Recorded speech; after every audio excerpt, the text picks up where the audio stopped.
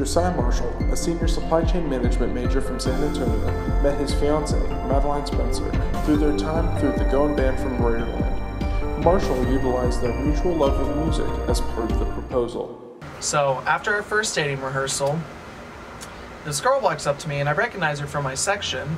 And she said, Hi, Madeline, but most people call my, I like to go by Mads. And she said, I'm afraid of the dark. Do you mind if you walk me home? I'm going, Sure, why not? You're in my section. We can just like get to know each other. And so kind of talked with her, you know, like put my feet in water, like putting out some feelers. And found out that she had a boyfriend, but me being me, I'm, I'm not gonna be like, oh, you have a boyfriend, see. I'm like, okay, I have a boyfriend, that's cool. I can have female friends. I grew up with two older sisters. I'm used to being friends with females. After Spencer broke up with her boyfriend at the time, Marshall asked her on a date about a month later.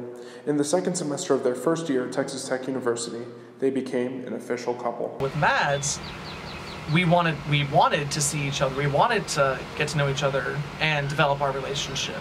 At the time, I think I was gonna marry her. I mean, no. I mean, we're just kind of dating, kind of that's the point of dating to see if you like someone enough to keep seeing them.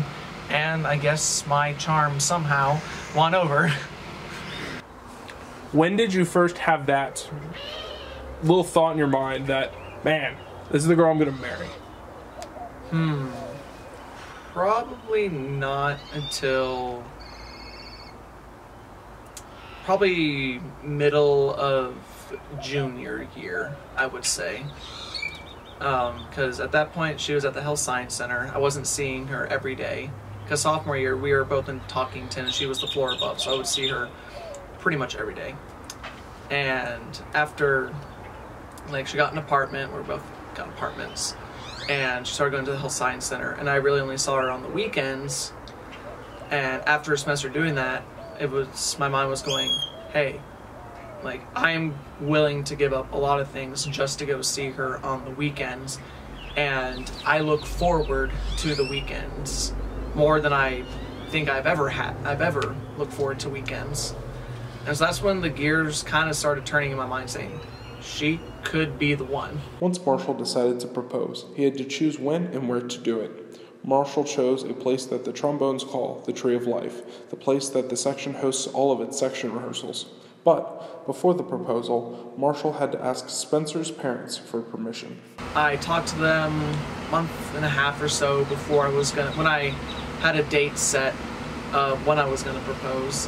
Um, I wanted to drive down and talk to them face to face because I've got that like old Southern values where it's like I'm gonna tell something to someone's face, I'll be like, hey, by the way, you know, just like have a straight conversation with them uh, we, we, they weren't able to meet, so I was just I just had to call her dad and talk with him then. How was that? And it was nerve wracking, of course, because um, you're asking for asking a dad for their blessing for their daughter, taking their daughter's hand in marriage, and he was understanding, gave me his two cents on the matter. Um, both a little bit good, a little bit bad. Some of the bad was like timing in terms of like what their family's going through, and so I wanted wanted them to be there but I, wanted, I didn't want them to have to worry about anything. It's like, I'm to take care of it. Just, if you can be there, awesome. If not, I understand that you have other family commitments.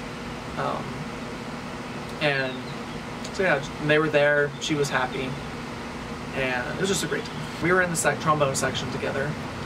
And so what I did was talk to Andrew. He was senior. He was a very, very good friend of ours and I asked, I pulled him aside one day. He's like, "Hey, I've got a request," and I asked him to make an arrangement of "Marry You" by Bruno Mars, and then I asked around 12 of our closest trombone friends to play in the ensemble that would play in So it was very kind of a close knit, uh, tight group that we all knew, that we all had good friendships with, good relationships with. I originally didn't want to do marching band, and then when I did it, was like, okay, maybe I'll like this. And then after the second year doing it, my sophomore year, I'm going, I am very much happy. I am very much enjoying what I do. I love the people.